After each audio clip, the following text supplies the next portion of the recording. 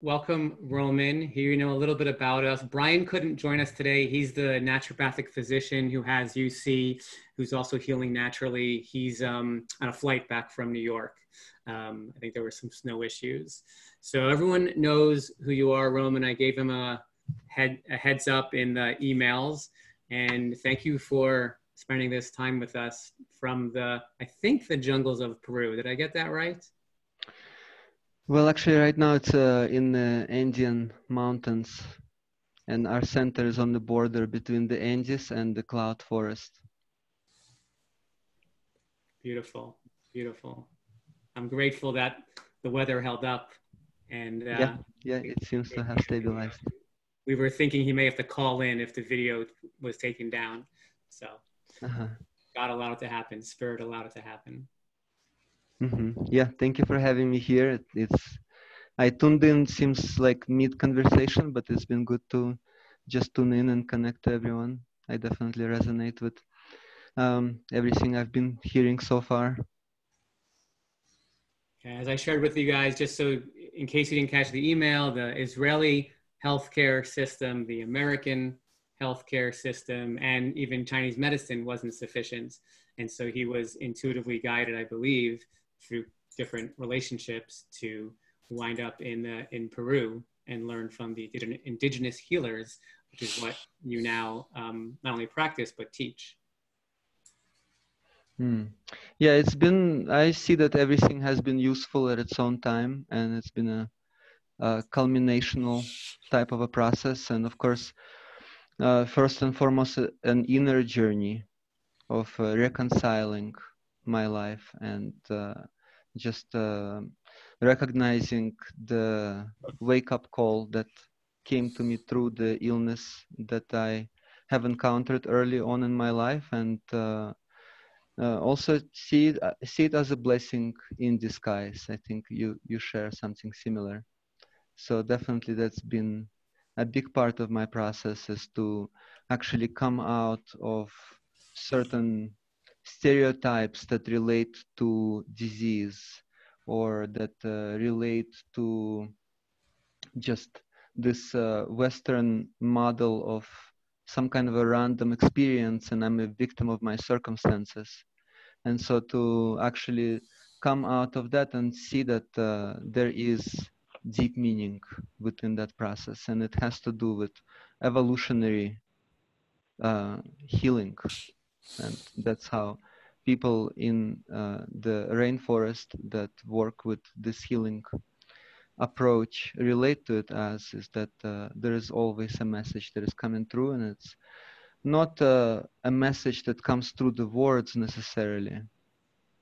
I mean sometimes it may be translated into words but uh, the message comes through in uh, this uh, mm, need to move beyond a certain uh, stagnant state of development and recognize how one can actually cultivate certain essential human qualities or i can even say uh, remember them.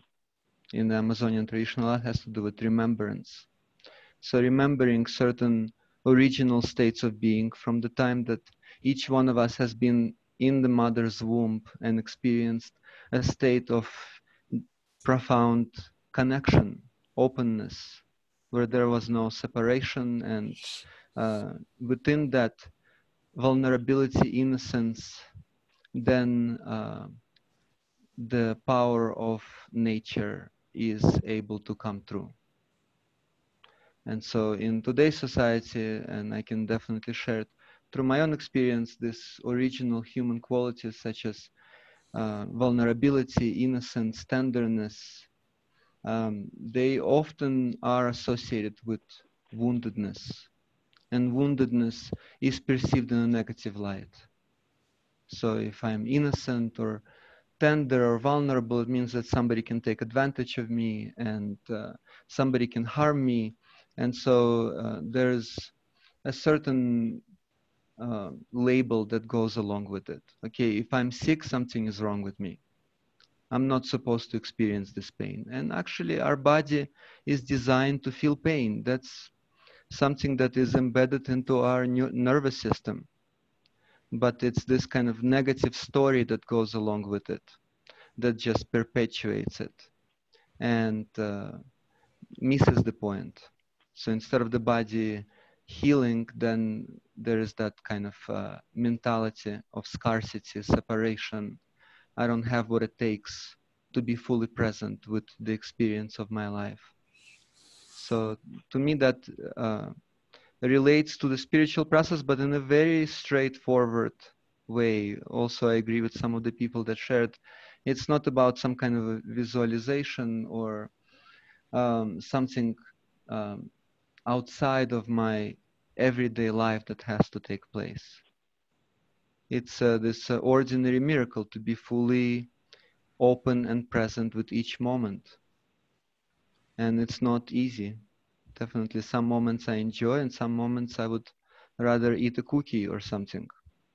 Right? So, uh, it is a practice of bringing that into each moment. And the spirit in these traditions is considered to be more real and tangible than everything that is material. So all of the um, animals, trees, insects, people come and go, and at the same time, the life itself is perpetual. And to tune in into that spirit of life and to open the heart to all beings, then um, allows that spirit to really come through. So I guess that's a little something that I can share. Yeah, thank you. You mentioned the the negative story that goes with the mm-hmm. pain, and mm-hmm. um, last week Brian's not here right now, but Brian had a a bathroom incident in the airport on the way when he was traveling home, and Cassandra is right now in a flare. So you know those create negative stories. So what what's a good tip for someone to you know cancel that story and move forward in a in a more helpful way when you're experiencing pain or bathroom some negative physical thing mm. well um, a big part of it is in my experience and something that i have found uh, of uh, a lot of uh, support from the people that I've worked with is this recognition of oneself in others and others in oneself. So if I'm going through something that is very challenging, to see that others might be going through something even more challenging.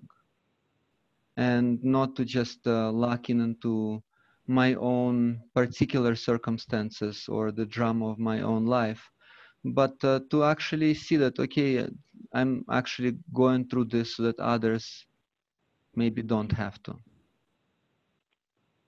And uh, in that way, it's possible to come out of the story, to see that, yeah, the pain that I'm experiencing, that's not what makes me so special. The challenges and difficulties that I'm going through in my life, that's not what makes me. I used to think that that's what made me special. That no one else experiences this kind of pain. No one else experiences that kind of embarrassment. I definitely have pooped myself once or twice in my life on my way to work in New York City before I got to the Amazon rainforest. And uh, yeah, there was a certain, in a way, um, just um, almost solace that I found in in that pain or in that sickness, just uh, feeling like that that is what made me feel that I am someone that I'm special, that this illness uh, gave me a certain identity, a sense of identity. And then starting to see that actually um, everyone is going through their own challenges and everyone has their share and um, that's not really what makes me special but how i can actually engage with that. And then that is not not not really special, but it's more uh, this uh, process of recognizing the unique contribution that I can bring into the collective process, just by not going into that um, into that rabbit hole. Yeah. of those same old patterns and reactions and uh, this kind of sickness of humanity in the way that um, the healers that I worked with look at it is this coin of two sides. On one side is the self pity, is this poor me, the whole world is against me, nothing is working out. I have this issue and I've, I don't deserve it, and I'm a victim of my circumstances. And on the other side is, but I'm so special. I deserve so much more. I am so important. And it's the same coin of two sides that just keeps flipping and takes up a lot of energy that otherwise could be utilized for the healing of the organism. And so in my own process, it was a lot about that. It's just recognizing that, um, um, yeah, it was a certain personality construct that was not really directing and guiding the energy of life in a way that was uh, revitalizing, in a way that was regenerating and wasting all this energy on the inner drama. And so a lot of it had to do with recognizing it and seeing how it may be still going on, but I don't have to feed into that. Right. And I can just see that, yeah, it's just this circus show that is going on, and I don't have to keep giving credit to that. Yeah, good, great tips. And what's useful for me, I have found in those moments of places I would rather be than in physical pain has been uh, where can I find gratitude in this situation? As gnarly as it is, as gross and embarrassing and humbling, where can I find gratitude? And you know, when we come from a place of of like not being in pain, that the gratitude meter might be larger. But when we're living a smaller life because we're stuck in bed or something, or I'm stuck in bed, then the gratitude meter gets smaller. But it really doesn't matter, in my experience, what you're having gratitude for, but you're shifting the attention away from woe is me to having gratitude for something and kind of building building the the gratitude um, tree, the, the gratitude um, healing modality has been helpful mm. for me. Um, so Roman, I, two people already have mentioned dreams, and I know mm-hmm. that was a big part of our interview for the Crohn's and Colitis Summit. So mm-hmm. I'd love to hear your hear your thoughts. So Kent mentions spirit communicates through synchronicity and dreams as well. And Jenny mentioned that she used to do a lot of dream work, but now having difficulty remembering. And that's mm-hmm. where I am as well. It's challenging for me to always remember my dreams. So can you mm-hmm. speak to the relevance of dreams and how we can use it to our advantage? Sure, I can speak a little bit to that. Uh, before going to the Amazon rainforest, 18 years ago, I was uh, actually, um, for a few years, I was studying uh, Jungian transpersonal psychology, and I had the intention of uh, actually going to Zurich and uh, applying to that school. And of course, life has had other plans. But um, I initially started with that because Crohn's disease and my gastroenterologist initially told me that it's very psychosomatic, and I noticed how um, different degrees of stress and all kinds of conflicts in my life would actually trigger very painful episodes. And uh, so I started uh, investigating that and uh, going into transpersonal psychology and uh, going into the study of dreams. And then, of course, coming into the Amazon rainforest. And um, one of my uh, main healers and teachers was an Achuar elder. And uh, the Achuar people, they work specifically with the dream language. And uh, when I came to the Amazon rainforest, I was still looking at it in a more conceptual way, where the dreams, there are certain archetypes, certain messages, but it was hard for me to see it in a more embodied manner. And then living alongside with the Achuar people and seeing how for them um, it was something that was uh, very embodied so the dreams would uh, represent certain ways of being. And then, of course, everything to them is a dream. Every individual, every person has certain qualities, associations, characters, just like you were sharing where you were in meditation, and that's when I just tuned in. Um, but that's what I caught. Uh, and suddenly connecting to this one person and another person. But for the indigenous people, uh, their main precept in life is when they meet each other, they say hello me to each other. They see that everyone is a unique expression of that greater whole.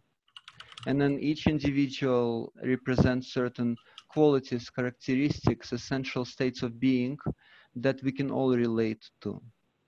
And this is something that definitely is happening in dreams and especially through the patterns in dreams and seeing a few dreams, it's possible to recognize those patterns and see very clear communication that is coming through on an evolutionary level. The communication for the indigenous people also the greater organism, right? You can call it the spirit of the rainforest or the great spirit, um, God, however you wish to call it, Buddha nature. It's this great organism that uh, everyone are part of. And this greater organism, of course, our own body is a fractal holographic expression of that greater organism. There are so many processes happening in our body and they may initially be seen so disconnected from each other but they're all working together and each one of us is experiencing this body as a whole. And so for the indigenous people the more that we can tune in into this greater organism within our immediate environment in our everyday life the more we can actually experience greater harmony within our own physical organism. And the dream language is very much related to that so in our institute, we work um, a lot with uh, this recognition of the language, how this language is coming through random pains in our lives, illnesses, diseases, experiences, situations, all kinds of uh, encounters, people in our lives. And so how from early age, nothing was random. And so then gradually starting to see how there is a very profound organic intelligence in every experience of our lives and every moment. And then through that a lot of healing comes through. So it's uh, in a way understanding the language of nature the language of our own organism working with the energy of our feelings of our emotions working with the energy of each moment how to be more and more open to be a conduit of life rather than to be at odds with it. So that's what I can say in, in short. Great.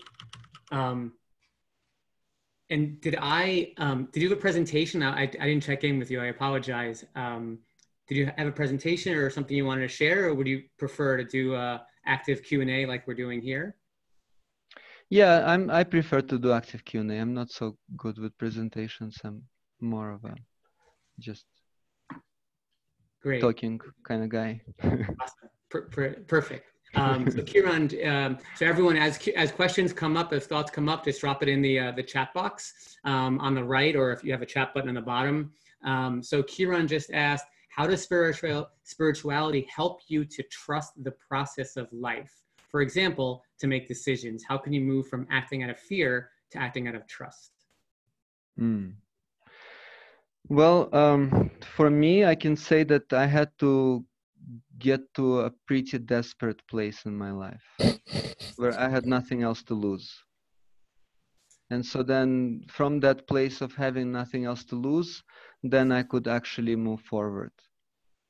And so, uh, uh, yeah, I came to a place where, okay, there, were, there was not much else for me to do. I've tried everything that I could in a conventional way to deal with my issues and it wasn't working. And then basically i was facing um, continuous surgeries and, um, and all, it wasn't only physical in my life but just everything in my life started to break down. I started seeing how i could not find deep meaning in my life deep fulfillment and uh, then was being very miserable as a result of that.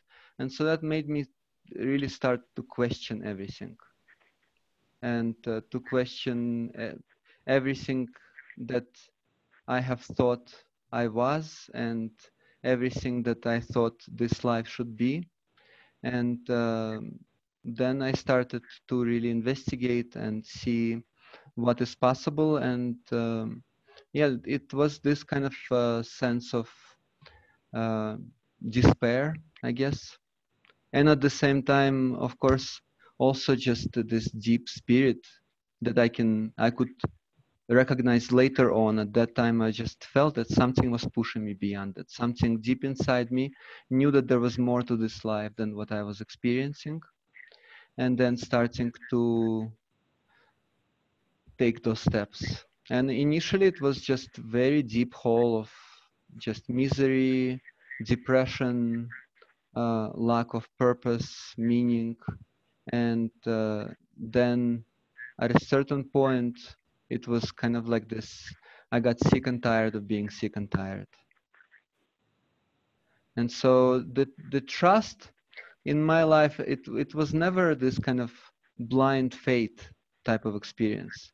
The the trust came from the exploration, from the recognition of what is possible. And so then the more that I was able to see that there is more to life, that there is more to what I thought I was, the more I was able to trust this process a little bit more and a little bit more. And so then gradually uh, it started to unfold. Kieran, was that helpful? Do you have any additional follow-up?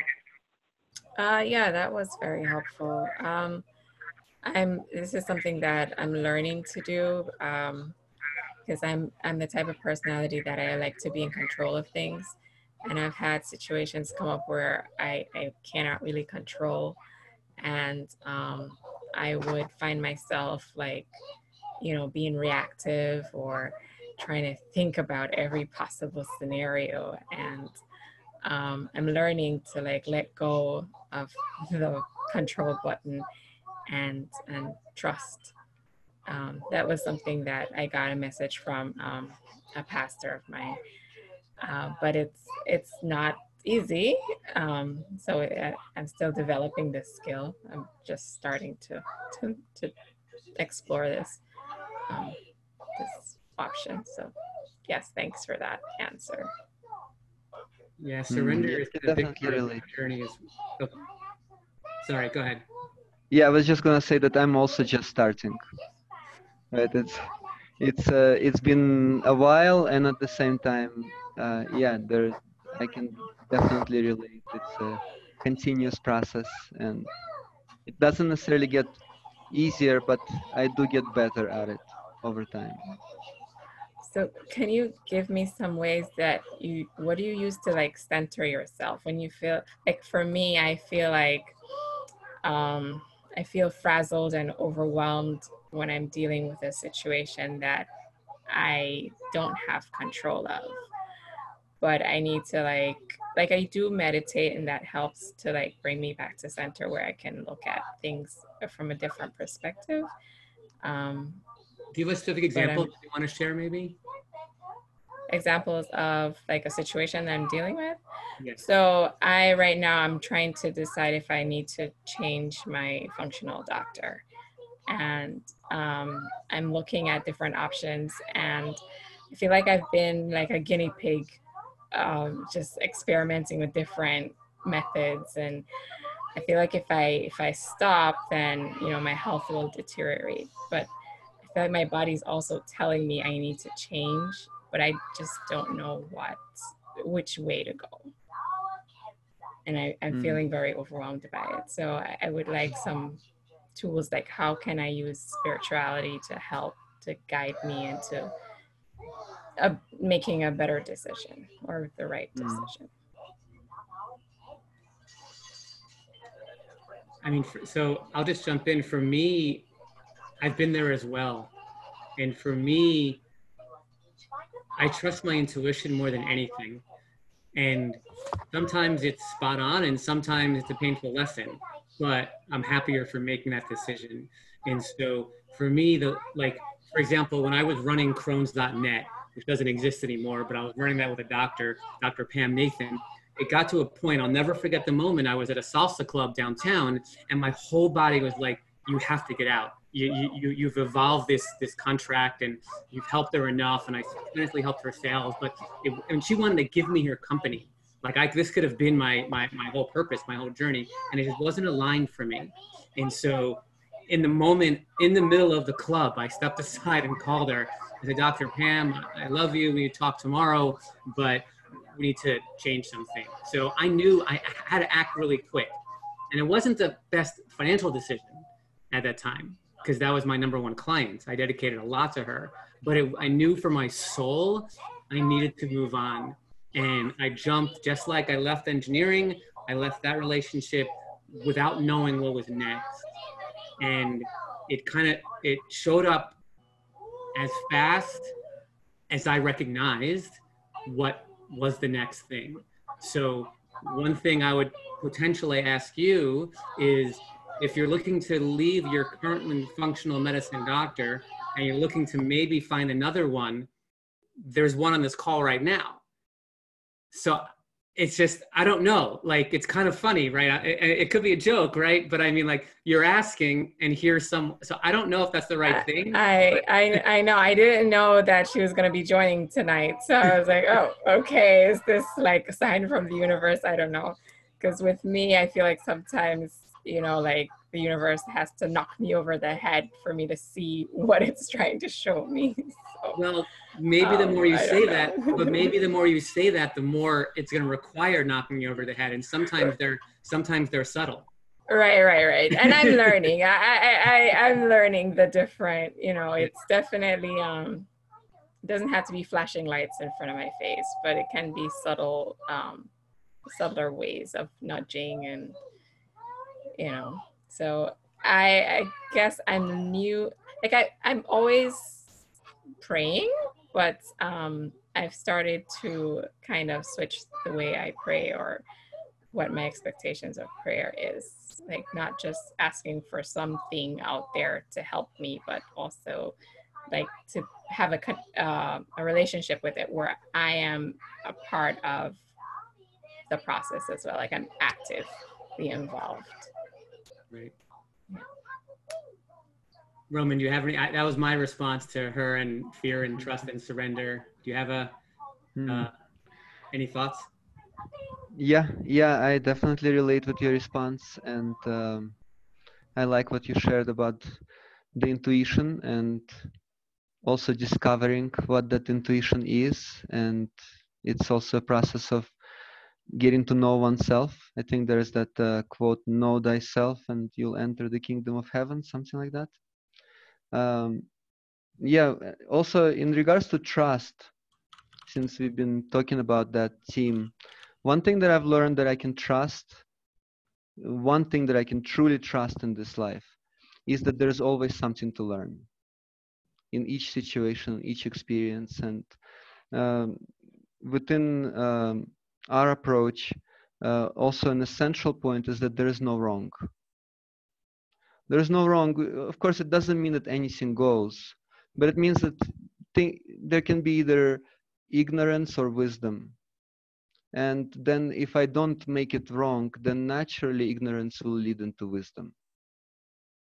So there is that capacity to be open to the experience. And so yeah sometimes i make um, ignorant choices but they're not wrong because i can learn from them and then I can mature and evolve in that way. So uh, sometimes people come to me and ask me for, you know, some kind of like a, a bag full of tricks, so to speak. But in in the approach that I have engaged in my life, there is no bag of tricks. There is no magical bullet. It is something that uh, has to do with a relationship with life a relationship with the spirit, with oneself, a, a disposition towards life. And uh, that's the essential training, nothing else. I can have the most enlightening, blissful experience, and then I turn around and it's gone. And so the only thing that is left is how I approach each new moment? How can I have that attitude that is more embracive of situations? So um, Karen mentioned about just uh, being overwhelmed, having an experience, and just uh, not knowing how to center oneself. And uh, in my life, I've learned that uh, another uh, useful saying, I actually don't know who said it, but uh, there's the saying that suffering is pain multiplied by resistance. Mm. So then having some kind of experience, and I've learned from myself to recognize it as a cue to let it in, not to resist, not to try to avoid and escape and cover up. And then the only way out is through. That that is something that I found to be very meaningful in my life. So that's a great point. because um, there is a lot of resistance on my end. But how do you let it in? How do you how do you let go? How do you let go and let it in so you can go through it? And I'm not, um, I've learned not to run away from pain. Like I know every time I'm in pain, there is something going on in my life that I need to address or look at. So, but mm-hmm. how do I just let it in? mm-hmm. Yeah, if I can just uh, add a little bit more, Joel. Um, yeah, that's not something that I found again just works instantaneously necessarily. I mean, sometimes it may if there has been a certain gestation process, but otherwise, uh, I shared a little bit about essential human qualities. So I can learn to be a little bit more patient, and I can learn to be a little bit more generous with the experiences that I'm having, and then gradually cultivate those qualities, and to actually engage with them intentionally to uh, be more kind, to actually relate with my own process. And then because of that, I can be more tolerant with others. And then to recognize that, yeah, all of those situations, especially the disturbing situations, so people in my life that really bother me, they help me to become a better human being. They, without them, I wouldn't learn how to be more patient. I wouldn't learn how to open my heart. There is this uh, very profound uh, prayer in the Tibetan culture that I also uh, have been working with throughout the years. And this prayer uh, is something that is very, mm, how to say, uh, unusual in our today's world. The prayer actually goes, May I witness and experience enough suffering in this life to awaken the heart of compassion. And to me, I interpret it just enough. I don't want to experience, I don't want to beat myself up. I don't want to torture just enough to awaken that heart of compassion. And uh, I believe that that's also very relevant to what uh, Jesus Christ was uh, also practicing and sharing.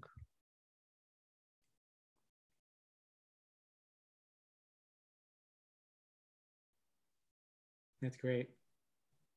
Does that address your question, Kieran? Yes, yes, it does. Thank you. Great. So next we have Kent. Kent asked, is there a tool or strategy or idea to assist us in trusting in spirit and allowing what's happening with more ease? Um, I have some thoughts, but Roman, what do you what do you think? Mm, good, really good questions. I love it. I, I love that we are getting right to the point. Yes, actually, within uh, the indigenous traditions we work with, there is this practice of remembrance.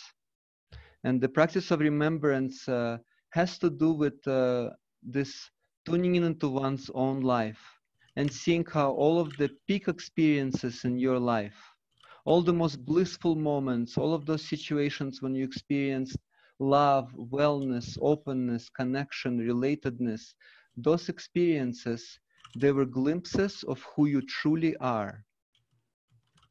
And then, of course, instead of relating to that on the level of a state of being, attaching that to those particular circumstances, hooking into those particular situations and thinking, no, that's only something that is available in those situations, in those experiences. Only when conditions come together in a particular way can I open up and experience that. But actually, those were just reaffirming glimpses of something that is always within us. Certain situations allow us to experience that in an easier way. But the point in these traditions is to actually bring those same states of being into every moment of our lives, whether difficult or challenging or easy. Whether I'm experiencing pain, whether I'm experiencing pleasure, the real happiness in these traditions is found in this capacity of the heart to be open with whatever happens. And so it's that happiness that is found in freedom to experience life. And it's this practice of remembrance to really remember okay, the spirit is not something out there, it's something that has been with each one of us since we've been born and even beforehand. And it's something that we can return to. And so there are practices that relate to it not just as a, a way of just writing it down and mentally remembering it, but actually breathing it in. Going back into that situation and breathing it and allowing oneself to fully experience it again. And so then, through that, being able to start trusting the Spirit and seeing how the Spirit is who you truly are.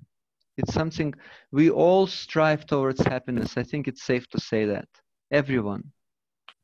Maybe different people have a different idea of how to get to that happiness. But happiness itself is something that is indescribable because each one of us knows deep inside what it feels like. Each one of us has experienced it. And that's the spirit. It's too simple for the complicated mind to understand. So, yeah, I, that's what I can say short.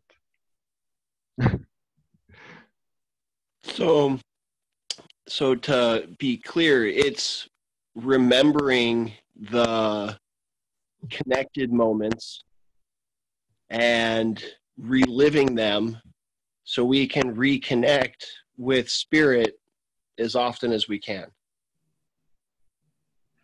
Yeah, absolutely. To remember that original state, this uh, original state of the unconditional love that mm. each one of us has lived.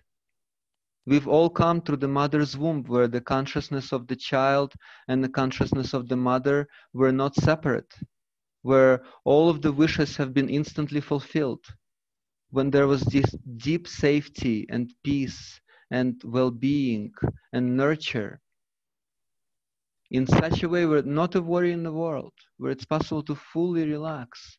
And being in the mother's womb is not easy, right? You have to literally grow limbs. There are all kinds of growing pains. And at the same time, knowing that there is unconditional love to actually embrace you, to nurture you through all of the pains that you're going through in life. So that's something that is uh, relevant to the indigenous tradition, and there are lineages uh, of direct transmission where people actually embody that state. Of course, each one of us knows that, each one of us has that seed. But then to allow that seed to sprout, to come into every situation. Otherwise, we all experience that, and then as children, we meet this world that is not supportive of that state all kinds of circumstances that make us doubt in that original innocence and then closing down. So then coming to a point where it's possible to return into that fully consciously and to trust into that original state as the only reality right? All the fears and doubts it's just all of those uh, different uh, stories that don't have reality to them. We make them real by believing in them.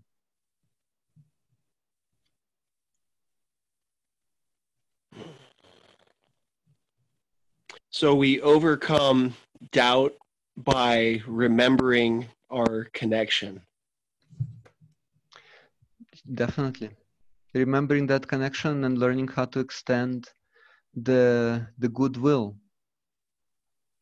And of course, initially it's good to have certain memories and it doesn't have to be something from early childhood it can be maybe just yesterday or a moment ago there was this glimpse and then uh, tuning in into that making that valuable in life and so then of course it's not only about this um, experience but it's a certain disposition like i shared earlier. How can i develop my personality in a way that is more in tune with life?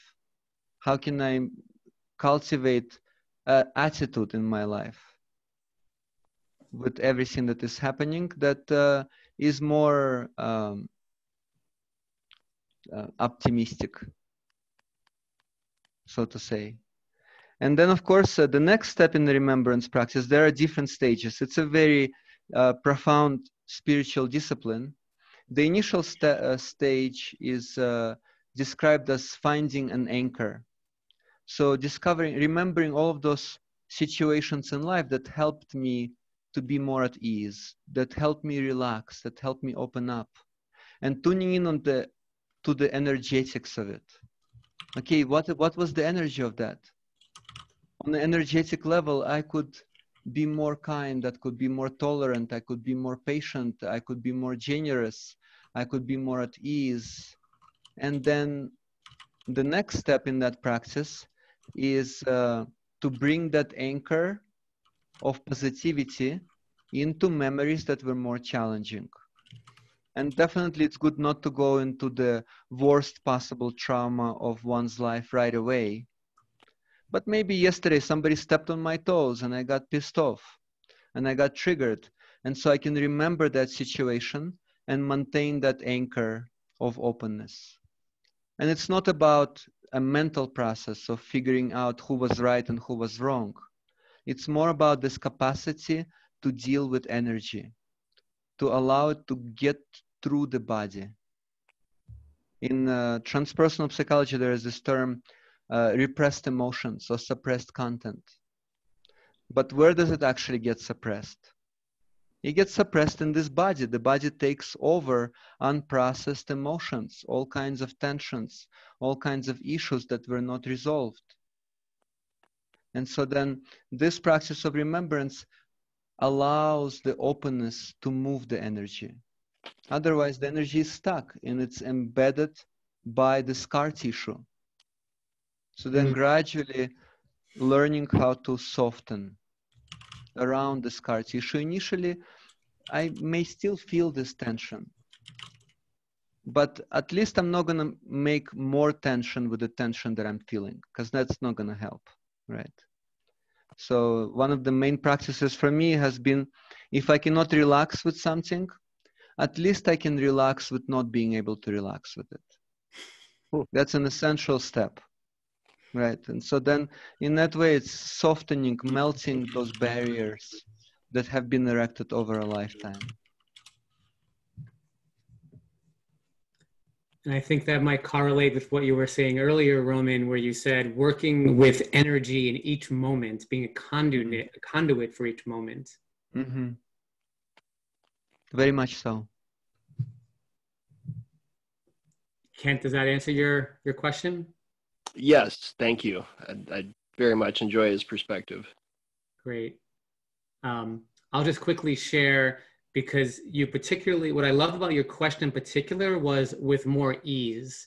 So my relationship with with spirit and with law of attraction and with God and with just my words create my reality sometimes really quickly, and it's can be amazing and it can be scary. So I manifested, as some of you know, I manifested Crohn's in my body because ulcerative colitis, the medication wasn't sufficient and I needed this medication. The only reason I couldn't have access to it was because of my diagnosis and with doctors and insurance and blah, blah, blah.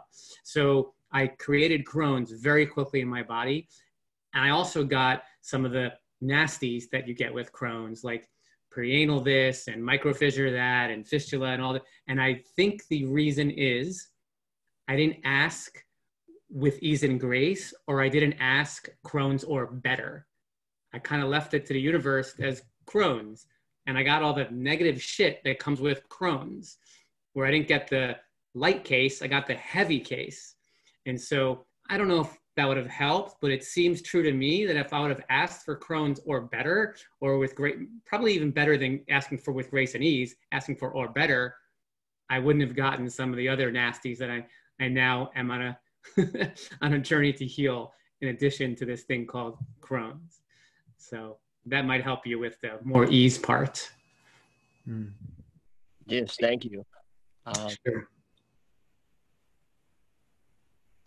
Yeah, I think that's good for the moment. I'm just taking it all in. Thank you. Great. Thanks. Thanks, Kent. And I just wanted Roman, in case you can't see, Kieran just said, Roman, your words are giving me goosebumps. What you were saying is so profound. Thank you. So that's that's wonderful.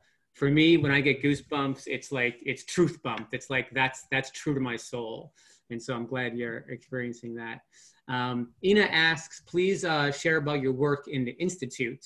And that reminds me, Roman, please also mention um, some of the online offerings you have. You know, we don't have to, it would be nice, it'll be, it's a welcome, it's an opportunity to fly to Peru and work with Roman, but there's also some online courses that are helpful on their own and also a prerequisite and we'll be um, I haven't yet we haven't worked out the finances and stuff but that'll, that'll come later um, he'll be part of the one great gut network and you know hopefully we can uh, collectively help others who are looking for for deeper healing to have access to the medicine that roman teaches and that he is a conduit and channel of um, so with that mm. please, please share about your institute work Mm, sure. Well, first, uh, just to um, respond to Kieran, uh, thank you. And uh, also, I find in my life that we all heal through each other. And uh, it's this inner truth that we can recognize in each other's life and in each other's process. And uh, that's a big part of the healing journey and also of my work where yeah i have gone into full remission from crohn um, 17 years ago but uh, that was just the tip of the iceberg in my life where the healing went and continues going into more and more subtle layers and um, it's this evolutionary healing and i'm grateful for that where uh, it's giving a sense of continuous purpose and meaning and a way to relate with others and a way to see myself in others and others in myself. So that's a big part of my work in the institute, basically. And uh, our institute is a small grassroots organization, and uh, we have uh, this uh, big uh, sanctuary reserve. It's about uh, 4,000 acres bordering the National Reserve. It's a huge responsibility, and the the land is also a container for our intentional small community of people that are coming together where in our in our organization uh, we have a saying where uh, it's uh, work pray and play together. So where they're not separate from each other. And um, um, there are many different initiatives within our organization and uh, very few of us, so there is a lot for us to handle, and I often have to wear many different hats. So I'm both a co-founder and uh, uh, what do you call it, uh, executive director, and uh, uh, just uh, dealing with tasks, and I'm also loading trucks of supplies and helping to build and plant and uh, support people uh, who come to our re- retreats and uh, continuously looking for ways to really share the living wisdom of uh, these ancestral traditions with people who are interested in them. And uh, these traditions, they refer to as living wisdom traditions because it has to be living, it has to be alive. And those traditions wouldn't be alive today if it wasn't for people just like you and me. People like us who were actually making a real decision to face challenges in life. So and people- in that way, awakening that wisdom uh, within. And so it's something that uh, has to do with everyone. And um, within our organization, we are working with, we have a distance healing program. It's a three months program that has to do with uh, uh nutritional program and um, um, a dream work process that is based on the Achuar dream work and transpersonal Jungian psychology helps to recognize the psychosomatic root of the health condition and uh, also life coaching and so then uh, that program uh, sometimes people choose just to go through that program. And we've had quite a few people that found that program to be very life changing for them. And uh, some people choose that program to be uh, prerequisite. Well we actually have that as a prerequisite for anyone with a health condition who wishes to come to our physical center to heal and then uh, we're also working on um, more and more social media. We haven't been so technologically advanced.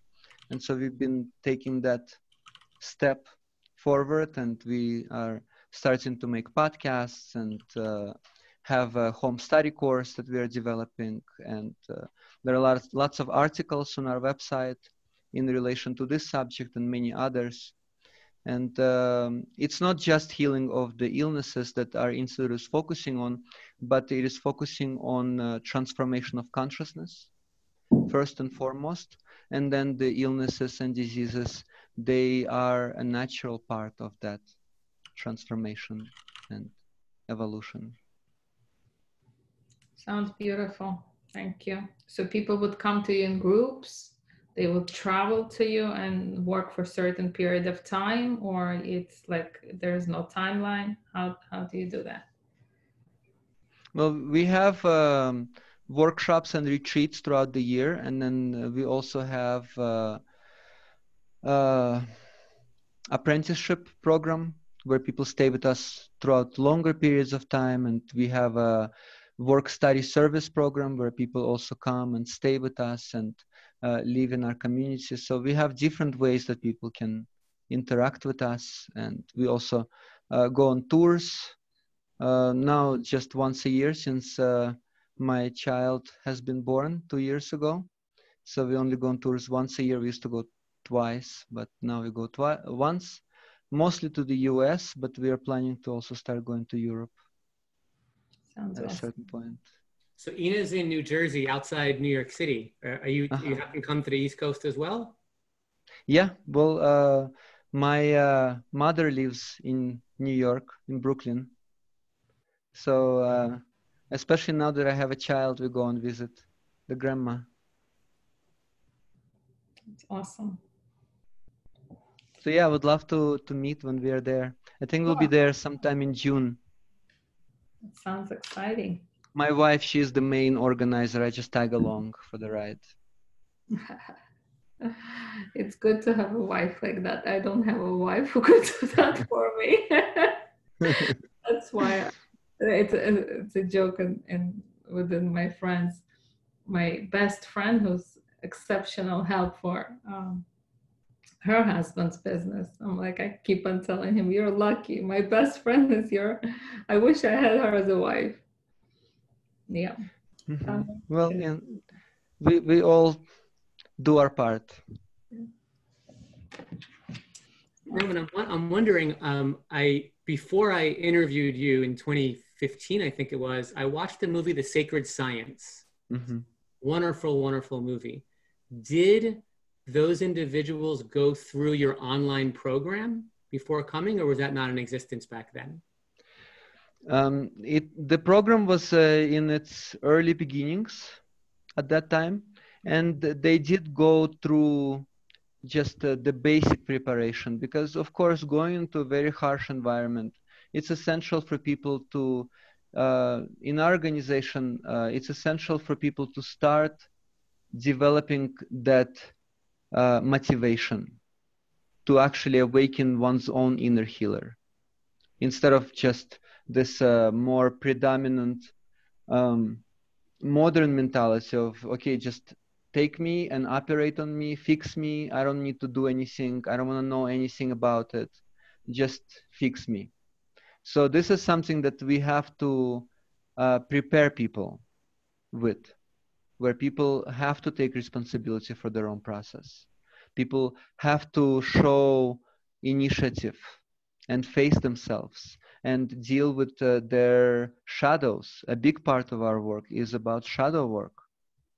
How to face one's fears, how to deal with everything that one has been running away from throughout most of one's life, and um, not to scoop things under the carpet. And then, of course, to have the container, to have the guidance, the support, the tools to go through that, but it's still nothing can substitute that and so it's still up to each individual to to bring that initiative. And so the program helps to prepare people towards that. Right. Ina i didn't mean to cut you off by the way. Did you have further questions uh, around the no, you know? okay. Great. Um, okay let me i'll just jump right in. So jenny's next question. Um, thank you roman for for that the online yeah course. yeah thank you everyone. I really i really appreciate this conversation. And yeah also just to share uh, yeah I, I'm, I'm also i see how much meaning everyone is bringing just through going through their own process and also ina going through her process. And i see how um, yeah for me also all of the healing modalities that i'm working with. And i'm also have uh, in in this process in, in Amazon rainforest, I ended up studying acupuncture and have become a Chinese medicine practitioner, and also had to learn um, um, how to um, set bones within the Indian and Amazonian traditions, and uh, how to work with many different aspects. And uh, it all came as a natural part of this inner healing journey, just seeing what is meaningful in my life, what is helpful, and then how I can share that with others. And so I do see everyone's participation here to be um, very essential, not just for people here, but for everyone our life is in contact with. Yeah. The breath work you teach, is that something that we can do a, a, a slight little bit here to give us a taste? Is that possible? Not so much. okay. uh, the breath work that, uh, well, of course, yeah, there are different uh, breath work techniques, but um, there's a particular breath work um, um, ceremony that we work with. And this breathwork ceremony comes from two very distinct modalities and cultures. One of them is from the Yanomami people in the Orinoco Basin in Brazil. And I've learned that modality from a Witoto elder who himself uh, received it from the Yanomami elder. And um, uh, it is a ceremony. Uh, it is a practice that we do. The uh, Amazonian practice, uh, once people do it with us, uh, people can do it in the comfort of their own homes. And we do have uh, a DVD that uh, takes people through the practice. Mm. The practice uh, entails breathing through the different places in one's organism, through the different energy centers, and relating them with the different elements, different emotions, different feelings, learning how to shake whatever stagnation is in the body, how to loosen up and um, allow the energy to flow. And then the other modality that we work with uh, is a, a, a, it's it's a Tibetan uh, based practice. And so uh, I initially received that practice from a, a Bonpo Dzogchen practitioner, which is a shamanic tradition in Tibet. And uh, the practice um, is uh, very parallel to the Amazonian one. And over the years, we've been finding how one prepares you for the other. So the Tibetan practice, uh, the Tibetan-based practice takes people much deeper. And in that practice, uh, the practice is based on reciprocity. The practice is based on this uh, capacity to feel oneself to be a part of a greater whole, not mm. to be stuck in one's own separate self. And at the same time, the practice encourages people to really face all of the problems in life, all of the pains, tensions, unresolved emotions, and at the same time, not to just deal with them on one's own as one little separate individual, but to bring that into that unconditional greater organism that allows all of those greatest tensions to be dissolved like a drop of dirty water in an ocean of clear light. And so the practice can be quite cathartic. Often people have very powerful emotional releases or sometimes even going through this process of returning into the mother's womb, uh, having uh, all kinds of physical uh, experiences, uh, and it's essential to have a life connection and support throughout that practice. And uh, at the same time, the practice, the focus of the practice is not catharsis. The focus of the practice is underneath all of those layers of problems, of trauma, of all of those different uh, negative imprints in one's life. Discovering that original, innocent, tender, blissful, peaceful essence. Hmm. And then to learn how to channel. Initially, of course, it may come through as this uh, lightning in a bottle, this champagne bottle that just opens up and everything just spills out. But the practice teaches us how to learn to harness that energy. Of course, in our modern society, it's very popular today to have those cathartic modalities, right? This kind of uh, um, primal release therapy, right? In New York, there's even those uh, special rooms where you go, you're giving a big baseball bat and all kinds of different things, and you just break things. And definitely, people feel a lot of relief as a result. But the problem with those kind of uh, practices is that if you are not conscious of how that disturbance is originating in the first place, if you cannot be fully present with it and you just get carried away, blown away by all of those emotions, right? I wasn't angry five minutes before, I will not be angry five minutes from now. But when the anger comes, I think that I am the anger. It takes over and it dominates me and i do all kinds of silly things that i regret afterwards and so in this ancient traditions the point is to bring creative consciousness and to see how this energy is originating and how it can be channeled. So maybe this anger that i look at as something negative and i either push it away and suppress it or i totally react to it but instead seeing okay it's energy. So maybe i can use this anger to go and do some hard manual labor or run a few laps around the house right if i feel envious or jealous maybe i can go and wash a toilet with that energy it can be applied to something that is useful right and so that's how these traditions work with that to see that there is wisdom there but i have to be present with it if i just completely block it off or I totally get uh, enslaved by that energy, I cannot really see that wisdom. Got it. Can, can you speak to some of the medicines that you use? So I, I that was the first thing that attracted me to to you was um, well the first was the website that said you cured yourself of Crohn's, and then I associated that with oh I can just drink ayahuasca and then I'll be cured. And rather than traveling to Peru, which I really was not uh, I was very much un- more unhealthier then than I was now. Um, so then I found ayahuasca here in in California, and I had Mm-hmm. um, three experiences uh, with that. Um, it did not cure me, of course. Um, so can you speak to some of the medicines you use, and maybe some of the ones that we wouldn't be familiar with, and maybe some of the ones that for the silliness of the American government government that they've made it um, illicit, and we have to leave the country to have access to. Maybe. Hmm. Okay, so that's uh, kind of a controversial subject.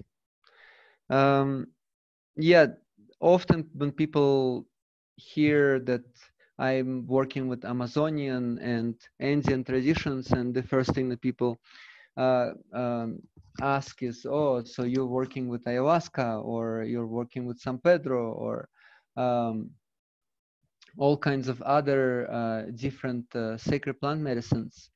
But actually, in the traditions that I work with, uh, that's not what it was all about. I- Our modern culture today is kind of a cherry picking culture. It just takes one thing out of the greater whole, the greater context, and thinks that that's what it's all about. But actually, within the Amazonian tradition, within the Andean tradition, the sacred plants, they are instruments, they are tools, and they have to be utilized skillfully, and they can they cannot be just uh, engaged outside of the cultural context, outside of this remembrance practice that I shared earlier, outside of getting real with oneself, having a motivation to really face one's issues and not cover cover them up. Um, and so it's essential to approach those tools meaningfully, not just as a some kind of once in a while um, psychedelic roller coaster experience, which definitely today it ha- it's becoming um, adapted to the Western mentality in that way, where people just want an experience, and then it's the same kind of consumerist mentality that comes in. But that's not how those traditions were meant to be utilized. And so when I came to the rainforest initially, the um, I started working my first uh, healer. He was an el- uh, Witoto elder, and he wa- more old school kind of healer. So the first thing he did was he told me, "Okay, um, you have to wait." He put me in a hut, and there were some other patients there, but he did not even give any remedies to me or others. And he would just observe. And he would notice me getting impatient and frustrated and then anxious and then starting to blame all my problems onto everything around me. And then he just started okay that's the that's the root of your issue. The disease that's just a symptom the root of your of, of the real disease the real issue is all of the are all of those emotions that you are not you don't know how to deal with in your life. Are you willing to take responsibility for that or not? And so then gradually that's how the healing process started. And then after a while he started to introduce okay how to engage with the remembrance practice how to cultivate that anchor of openness and then bring it into more and more challenging situations so that the ceremony then would be a, a, conscious endeavor not just me going into something and then just getting blown away and then having no idea what happened and making all kinds of stories around that and no understanding of the language of nature.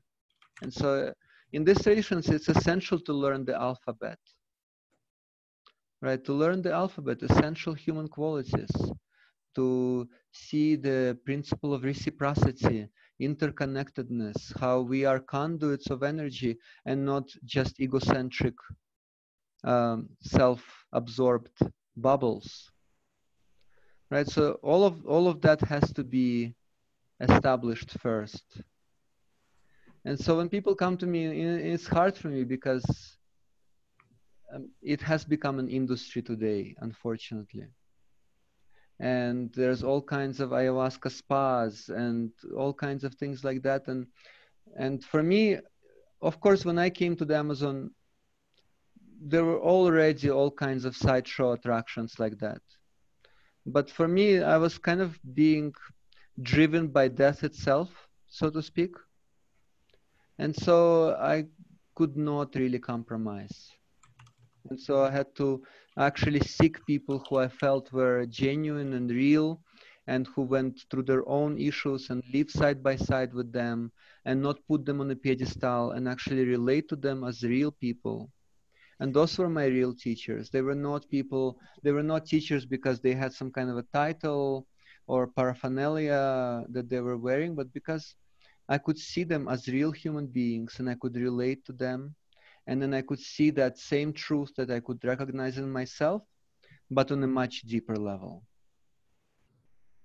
And so um, yeah definitely there are lots of medicinal plants. And at the same time it's that language. Each plant represents a certain quality a certain characteristic uh, represents the, the plants is not what heals us human body is capable of the healing itself. The plants are recognized as keys that unlock that inherent potential. But uh, there has to be uh, that um, willingness already. So then the elder that I mentioned, he saw, okay, once I was ready to learn how to be more patient and making an effort in that direction, then certain plant medicines were given to me that would represent that quality of patience. But if I would just take those plants without the willingness to be patient, then it's not much different than the pharmaceutical industry. It just creates a certain side effect and then after a while goes away. I, I really appreciate when you shared that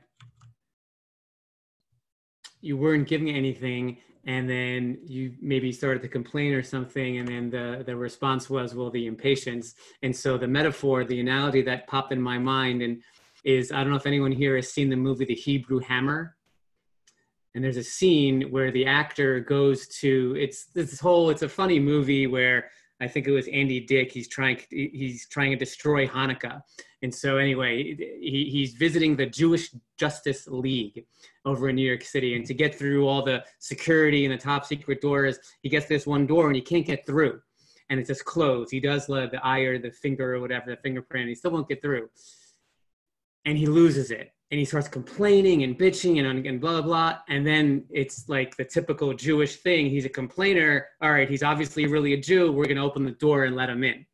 And it was this whole funny, funny loop. But the analogy being that they didn't force him to sit with the impatience and to get through the impatience. That was his access to the Jewish League. Versus you, it's very, very different the, to access as someone what is underneath this thing called impatience and how can we heal those emotions to more elevated emotions as ina shared last week mm.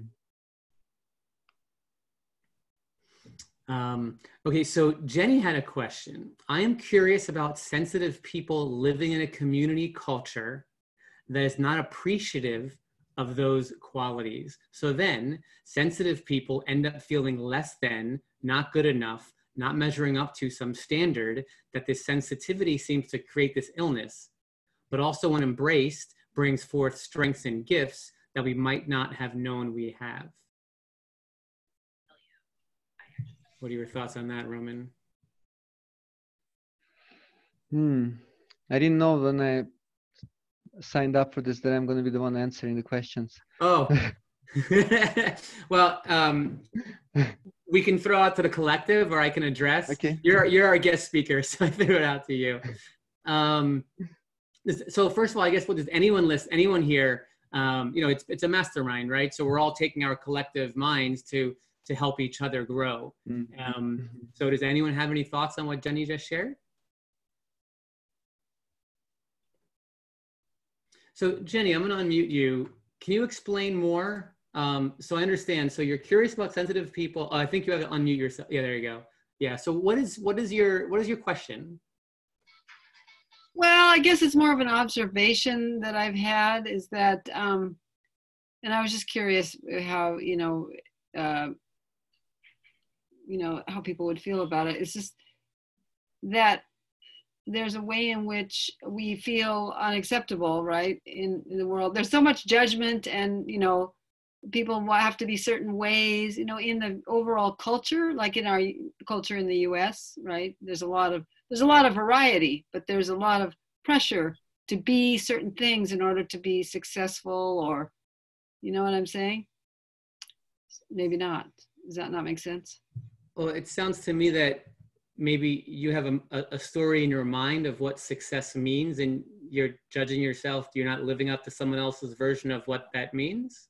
Mm, well, I have my own issue with that, but I meant just in general, there's a lot of pressure on us as humans, you know, in a in a culture that, you know, really is not very sensitive to people specifics. There's you know, there's like a generic idea of how we should be. Maybe I'm totally wrong. I've been living out in the woods for too long. but no, do you know what I mean? There's a there's, there's a. I don't believe in wrong, so you're definitely not wrong or right. This is oh, just yeah. your, this is these are your thoughts, right? And and they're real. They're they're legit. This is what's actually going on in your mind. This is really, really valuable. But I'm trying to understand what the. Well, yeah, go ahead. Well, I was going to say, this has been my experience. So, and yet, I, what I'm trying to say is, you're in a culture where uh, there are certain things that are expected, and if you feel like you can't live up to them in certain ways, you, be, then, can you um, can you make it more tangible? Is there a specific example of something that you feel you're not living up to that in your mind or someone else's standards? Well, I mean, just being ill is an easy one. You can't you can't be normal. You're not functioning normally. You have all these issues, right? And so there's a way in which you don't you can't meet the standard. That I actually I guess it has to do with self-esteem maybe who who standard who, who standard can't you meet? What standard are you trying to meet when you're this thing called ill? Uh, I don't know. I mean, if I I don't I'm not a big TV watcher, but there's a way in which there is a generalized idea or put out there that is the way people should be. It seems like. Hmm. I'm not get, you get all these we get all these images. We get all kinds of images. We get all kinds of things yeah. coming at us all the time, telling us who we should be in order to be got it, got it. So, yeah, in my, if you've caught the first third of my TEDx talk, I, I addressed that. And in my opinion, what that is is unconscious marketing, which is is, is created right. to make us feel less than. So then we will purchase something to feel more than and we're never going to feel more than from a purchase it doesn't right. come from buying a, a, material thing i don't care if it's a scarf from target or a rolls royce from the dealer. Like mm-hmm. none of those things like things don't bring happiness. Right. and so I, I'm, I'm wondering if is that what you're referring to? Because the media is like the unconscious media. Like so my challenge in my tedx talk was to wake up the marketers right? Because I'm in marketing and you have these, you learn these really psychological skills to help someone or to make someone or uh, persuade someone to make a decision. And maybe we should help people make decisions towards things that's helping humanity and growing the consciousness in the world and making yeah. you truly happy from the inside rather than some of the bullshit that they show us on TV. Does, does that address what you're referring to at all? Well, sure. I mean, I was making it kind of generalized. I wasn't trying to be specific. Like I said, I have some of these things. I have gone through my own process to realize that actually it doesn't matter. But I, I was just asking it in general for, um, I forgot your name already, out of out of brain Roman? fogness. Roman. Right. I was thinking Roman, you might might have a comment about that because it's a, it, what I'm seeing, and tell me if I'm wrong is it sounds like the communities that you're in are their emphasis is on something very different than the sort of mainstream we at least here have is telling you, you know, you have to look this way, you should do that. These are the things to do to be successful. This is what you do to be happy. I'm not saying people are really like that. I'm just saying it's. Yeah, it reminds me of so another shaman that I met, I think around the same time at Ramen. His name is Kai Karel, and he spent a decade. He's also Israeli, and he spent a decade in a um, ashram in India.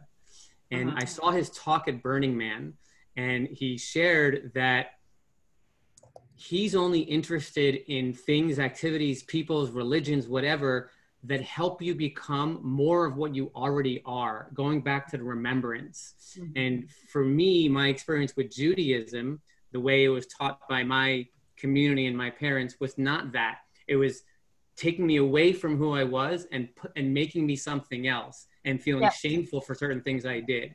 And so I really appreciated Kai's um, kind of education, him coming from a Jewish background and spending time in an India, a decade in an ashram. So that's the way I've lived my life since. If, if people, activities, things, events, whatever is, is not helping me become more of who I already am, more powerful that I, you know, and take me off my intuition, then it's not for me. It's not aligned for me. It throws me off. Does that help at all? Does that yeah, I mean, I, I agree with that totally so I brought it up as a I something to talk about really. mm, you know, just because I think there's a lot of people that are um, marginalized by feeling like they're not they're not they don't fit in. There's something wrong with them, and then if you have an illness, right, it's uh, exacerbated that way. So that's kind of where my where I was coming from. not doing it very graciously, but anyway. No, you're doing it perfectly. And I really love, I, I really appreciate your authentic share and your vulnerability. Like most people wouldn't say, "Oh, it's the brain fog." What was that man's name again? And I, and, I, and that, that's just that's just real, right? And and I appreciate that. And there's no shame. It's just it's what is, right? So thank you. I really okay. I honor you for for that truth. And you know, it takes a lot of strength to share outside of the Facebook highlight reel or the Instagram highlight reel yeah. that everyone is sharing, right? And here, Kent's Kent's nodding with you. I can relate. I don't meet society standards and pressure as well, and I, yeah. I, I, I agree, right? Like that's the that's one of the reasons I created One Great Gut as a place for all of us sure to get cured through one great gut foundation but really to be like this is what is this is what life is to live with dot dot dot right mm-hmm. and i believe that my opinion is we were put on earth or we chose to come back to earth to help relive um, to help educate others on this path and to show them maybe more compassion empathy and sensitivity and to unwind the shame that might exist with this thing called insert disease name, right? Whatever that might be, and the, and the right. symptoms. And I think people like you and I are really helping others learn compassion and learn empathy and really how to be with others who don't have the same genes or mental thoughts or whatever it might be that others might might have. And i believe that we're here to show people like what are healthy foods to eat. Maybe the man-made foods that have been created for for money in the name of gmos in the name of processed foods and the, you know i grew up on Mick, what was it um, lucky charms and twizzlers and kit kats and michelina's um, fettuccine alfredo. I mean like there's no wonder i got this thing called ulcerative colitis. I kept I, I bought into the man right and so now i'm learning like really true foods like I would love if Romo cared to share what does he eat on a daily basis, you know, compared to us when we can go to the grocery store or go to Amazon or Thrive Market or something. So I believe those with IBD and those with any of these diseases are here on earth to show others what true food is, what true healing is, what true eating is, what true connection is, and true love. Yeah. And I also think it is our own um, our own you know journey in a sense on a level that's different you know that but it's a I guess you could say it's a kind of way showing. So there is, I mean, sure, I've had the shame and everything for other reasons too, but by trying, by lifting yourself out as much as you can out of your self in terms of talking about things with matter of fact and not making it a problem what, what you were saying you know with your um, whatever your condition is whatever it is to just be matter of fact and make jokes about it or whatever right? It it shifts things for other people who observe. So there's more of an awareness. And maybe a re, uh, maybe a reaction that would be give them a little people some people a little more ease in terms of how they experience their own things like that or see others. So i mean i guess i see it as a way of it's a gift. It's a gift that you can give back even though you might look like you're not able to do that right? You know? There's there's always i find no matter how small life may feel or have gotten there's always a way to give back and, and gift it, it could be a simple text to a phone call to, to showing up to someone. There's, I find that there's, no matter how gnarly and bad things may seem, bad in quotes, there's always mm-hmm. someone worse. And yeah. I, I, that was one, my friend who visited me when I was in the hospital, Tomer. He, it was amazing getting the reflection back from him because I hadn't realized this. But his share to me was, Joel, I'm like I'm just amazed how much you have to give while you're in the hospital, and I feel like I'm I'm gonna like I'm in service of others forever, right? And and and through boundaries, sharing with Kent shared, it's learning you know the boundary of to how much to share and with who as we all try and lift up the planet from the current level of consciousness. Mm-hmm. Mm-hmm yeah so that was basically what i wanted to talk about i guess. Thank you. Thank you. Did anyone else want to add anything to to jenny's comment? Okay. I can i can add a little bit. Please. Okay. Uh, so yeah just to also respond to jenny i also forget people's names all the time so Um, and then, um, yeah, I do see that this path of awakening from the dream of separation mm-hmm. is um, to go beyond those superficial appearances and also to not uh, need to be someone in someone else's eyes. Mm. A lot of energy goes to that is wasted on that. And so um, yeah that's a, that's a big part. And in our community it's uh, uh, the way that uh, uh we relate to this process is uh, friends who love the truth more than each other. Yeah. And so it's it's it's something of course yeah it's inevitable within any community there will be conflicts and friction and disagreements, but at the same time to be willing to work through all of that. And maybe personally, I may be disturbed by someone or dislike someone, but that's just personally. I can get over myself and I can learn how to open up more and how to actually and and I found out in my life that people that were uh, the most disturbing to me have become my best friends. Ah. Once, once I was able to really move through my own personal agenda and to really tune in at the heart of the matter, beyond the personality. And so that's been a big part uh, of uh, my own journey in our community. Yeah, it's essential. We call them creative frictions. Yeah. But before would be conflicts, interpersonal. They are creative frictions. They allow everyone to actually mature and get over themselves and step yeah. beyond those uh, artificial personality constructs and then to discover that universal essence that we can actually relate to. Yeah, that's right. That's great. That's very appropriate because I have I'm in a small community uh, for a for about a year now that um, we're having that kind of thing show up right now, where mm-hmm. there's a big conflict and how to deal with it. So yeah, that's great. Thank you. Mm.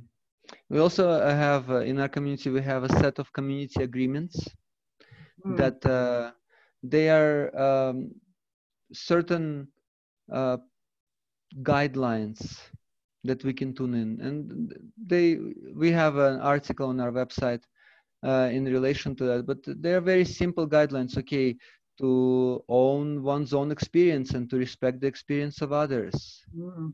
to uh, honor one's true self to uh, have responsibility and 100% integrity Mm. Um, and of course, beyond words, once we start living with each other, we start seeing more and more deeply what that means in different situations. But to actually have a community where we come together based on those agreements has been very helpful yeah, in, in our community because then we can actually tune in into that. Well, yeah, no gossiping. That's one of them.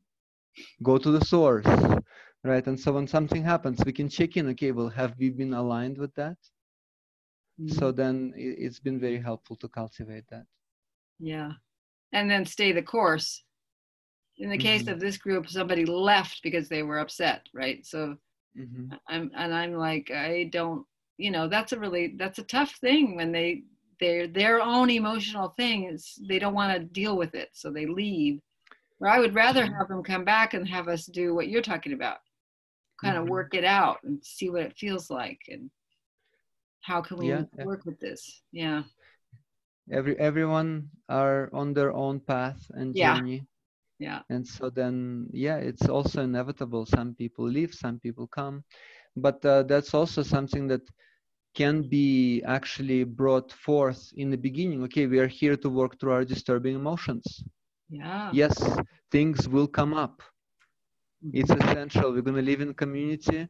Inevitably things will come up. So instead of tr- trying to pretend like nothing is happening and tiptoeing on eggshells actually no. Let's confront the issues. Let's have the appropriate tools and attitude and willingness to actually go through the situations that allow us to really break through all of those different elaborate self deceptions yeah Perfect.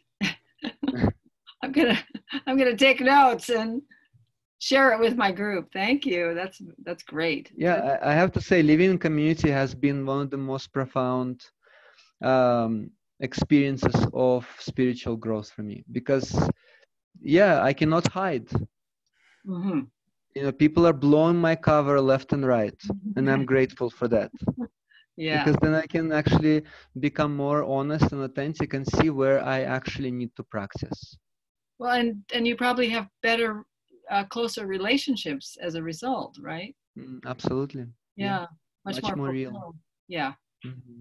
yeah that's wonderful. Yeah jenny i live here in an intentional community and one of the tenets is nonviolent communication. And um, it's really up leveled my game. And like Roman said, I, I you can't hide. Like, yeah, I have my own cottage here from the main house because I wanted more space, but uh-huh. um, we have heart shares, which are basically you know community meetings. And there was one woman who who was living here for I think a good number, maybe a year or so, before, and um, she was triggered from something that occurred.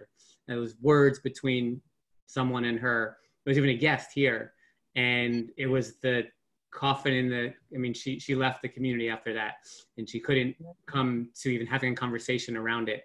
And so um you know we, we all wished her well and she's an amazing woman. She was actually a doctor and um she sent us a text just recently and how grateful she was for the growth and experience that she had while here and it was very different than the energy that she left with. And so uh-huh. every, everyone's on their own path and they go through their own journey um, but hopefully you know, I believe in the model, leave them better than you found them. And I, I really strive to, to, to, do that as much as I can. Um, yeah, and I went to a talk. I don't know if you who follows me on Facebook, but I went to a talk last night of um, uh, a Tibetan meditation master who moved to the United States, and he gave a talk on understanding karma, and it relates exactly to what Roman just shared as far as you know um, cultivating more good karma in the world, which I'm hoping we all believe in karma, um, is honoring our word and our agreements that we have with other individuals. And maybe even further, I didn't even think about this until now, but agreements that we have with ourselves. As yeah, we, you know, we tell ourselves we're going to do something, and then, you know, I don't know, is that in the karma? That wasn't part of the conversation last night, but right now it's popping on my mind. I don't know if anyone has thoughts on that. Um, I know we're kind of wrapping up here anyway, but I was, it's interesting the power of our word and how we have on others and ourselves and how it relates to karma and maybe the more good karma we have the more goodness comes to us is what i believe and maybe the first level of the afterlife as i'm reading this this book maybe a easier ride through the lower levels as we go towards the higher levels in in the afterlife. Mm. But you're that's really great that you brought up the individual thing because it's really easy for me anyway to try to please others. That's kind of how i was brought up right? You're supposed to please everybody. But actually living up to my own sometimes is much more difficult. You know my own like oh I, I would like to be this way or i should be that way or you know what i mean? And then not living up to what i think i want because of oh, maybe, maybe the first individual you should please is yourself yeah, right. That's just, just like Ina, Ina shared last week. It's not selfish. Keeping yourself first. You know, I, I think that there are certain individuals who, if you told them that, it might it might cause a lot of ego issues. But I think those who are blessed with this thing called disease, if you are inviting them to the possibility of being selfish I don't think it'll ever be so balanced that you're truly like what selfish means in the scope of, you know, what we see in the media or the movies of the world, right? Like mm-hmm. because we're maybe more likely to be a people pleaser as we slowly shift to being selfish, it's really more of a karmic balance versus becoming selfish as we might see some other individuals. Sure. So right. maybe take care take care of yourself. Be just take care of yourself and put the mask on, just like in the air in the God forbid the airplane goes down. You do that before you help others around you. True, but there's always internal stuff that where you play games with yourself. I do that anyway. I don't know. Maybe mm-hmm. nobody else does it. I think yeah. we all play games with ourselves for sure. Yeah. anyway, I know it's getting late, so thank you so much, everyone. Yeah. Has this been helpful for everyone? Anyone have a, a, last comments before we say goodbye to Roman? What's been maybe most useful um, that we've learned today? Seth, how about you? You've been quiet, Seth. I'm going to unmute you. uh, I think you have to unmute yourself as well. There you go. Uh, you can hear me? No, it's just um, hearing everybody's um, Roman's are a way of expressing uh, the spirituality. Uh, it's, it's a new um, look on, on, life, and I really um, I'm a good listener, and um, it's just a breath of fresh air, and um, I'm going to digest it, and uh, it's it's just a, another growing opportunity. It's just um, I'm going to uh, look into uh, Roman's website and, um, just explore uh, new avenues. You know, just um, you know, it's a good learning experience, and I just have to digest everything. It's um, um but I, Roman, thank you for all the, the speech and uh, it's all good stuff. Mm. what is your website, or what is the name of your website, Roman, of your or institute? It's a uh, Paititi uh, dash institute.org. So P A I T I T I, Paititi.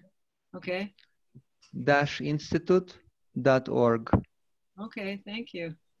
And I put it in the uh, comment in the chat window as well. So you can just click on that. Okay, well. got it. Thank you.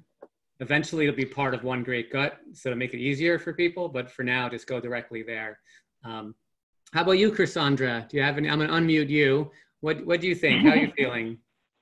Um, I really appreciate Roma, Roman, all of your insights and perspectives. Um, it's it, this aspect of, of healing is is something that is really important to me, and I'm just very grateful to be part of this group, even though I don't say a lot. I'm grateful you're here. Um, Yeah, I'm sorry, grateful. Elsa. I'm grateful that you're here, and um, I know it's more challenging because you're on the phone and not in a webcam, so you can't see us.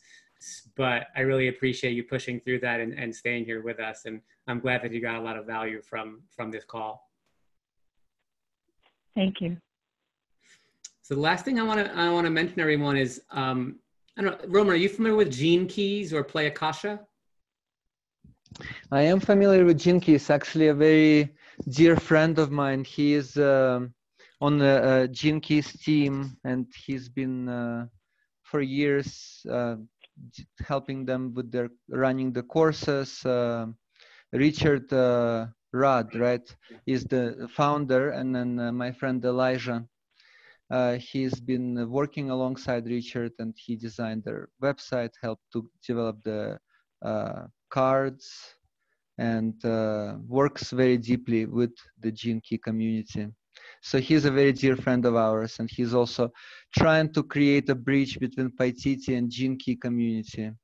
Oh, wonderful. And uh, have so you heard yes, of it's Play? something- Have you heard of um, the Assemblage in New York City and their website Play Akasha? We've done a talk in assemblage our, on our last tour. And uh, my friend Elijah, he's been the one who has been collaborating uh, with assemblage on behalf of Gene Keys. Great. So I don't So- know much else about them. Okay, But, so uh, everyone, my understanding of uh, assemblage, it's it's this um, it's a conscious work center, uh, work um, like a co-working space and a cafe, a whole lot of more in New York City, and Mhm. They're also aligned with with Gene Keys. So Gene Keys is something related to astrology, and it's maybe a, a system to learn for uh, to learn more, to activate more, lift your consciousness, and really see things in the the, the lessons that he's taught. At the end of the day, it's like a 500 page book, and I'm not great with books of that length. So I just put in the chat. There's a uh, website called Play Akasha, and so that's the homework for the next week. And I'll tell you what Play Akasha is. It's my understanding is it's Gene Keys in this um, basically an uh, I don't want to say a course, but it's different meditations that Richard and others have created, which, which unlock certain of the keys. And it's really like it's 100% free. And I'll sometimes get emails, I'll sometimes get text messages. So I want to read to you that last text message I got because it's, it's just so on point. Um, it came from the Oracle. They, they call it the Oracle. Um, here, the Oracle Game of Life. So this is specifically for me, and it's this came in on Friday morning. The Oracle has another clue for you to comp- contemplate. Difference between weakness and equality is respect. When humanity can remember how to respect one another, just as individuals learn to respect both the heart and the mind in their own life, communities will grow to thrive and grow together. And that's, I'm currently in the gene key of my own personal weakness and how, as I see equality in others and myself, it helps maybe not suppress, but transmute the quality of a weakness. And I know that context doesn't really make sense without having gone through it, but you know, meditation's been a, a huge part of my journey, and they just give you these nice guided, very short meditations. So please, everyone, just jump on there. I have no relationship with them, but I really um, jive with their teachings, um, and I'm curious to see what in a week. I don't know what's going to unlock, but it's been a couple months as they open different um, levels. Um, but it, they, you can do it on the phone or on the computer, and then you'll start getting messages. So please check out play Akasha. I don't know. Have you studied gene keys much, Roman? What What are your Does it resonate with with you and your spiritual growth? Well, because um Elijah is such a dear friend, so Nachi, he's been through quite a few of our retreats over the years, and he's been just sharing that through his being. So uh, just through him, I've been tuning in into that work. My wife, she's a lot more into it. Uh, I do uh, resonate and relate a lot with it, and um, um, it's just in in my life and my line of work. Um, again, there is that balance between the heart and the mind, and uh, working with the living wisdom lineages and uh, indigenous traditions. Um, it's sometimes uh, the main focus.